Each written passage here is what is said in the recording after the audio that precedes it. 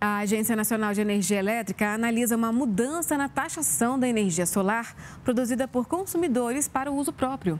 É a chamada geração distribuída, que hoje conta com subsídios, como a isenção do pagamento de tarifas pelo uso do sistema elétrico. Na casa do Abel, as 12 placas solares instaladas há quatro anos geram uma economia mensal de até 50% na conta de luz.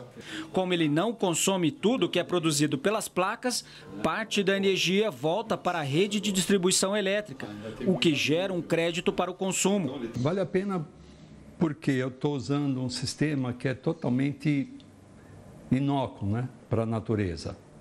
Tá? Ou seja, ele só está me fazendo bem, e não só para mim, né, mas para o planeta todo.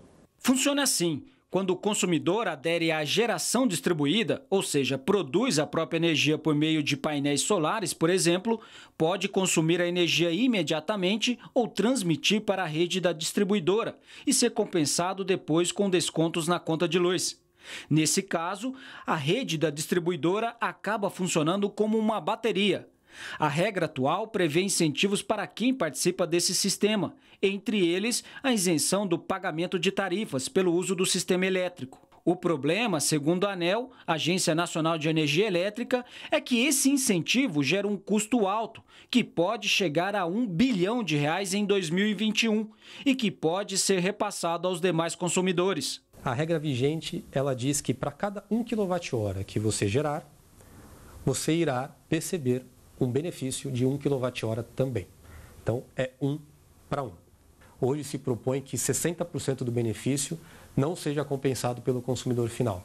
Então, o 1 para 1 viraria 1 para 0,4. 60% o consumidor que investiu do próprio bolso, que gerou benefício ele não conseguiria incorporar esse benefício. E é exatamente por causa desse impacto para o consumidor que no ano passado a ANEL anunciou que estudava a retirada de incentivos para quem produz a própria energia.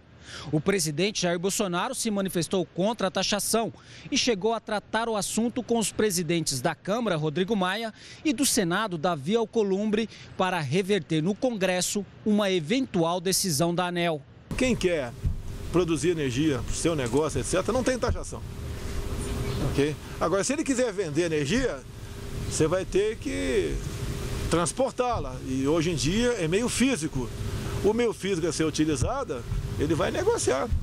Nesta terça-feira, o porta-voz da presidência, Otávio Rego Barros, comentou uma reunião entre Jair Bolsonaro e o presidente da ANEL no Palácio do Planalto. O porta-voz reafirmou a autonomia da agência, mas explicou que é preciso estudar alternativas para não repassar o custo aos consumidores. A ANEL, sob a qual nós não temos nenhuma imposição, vai estudar o caso.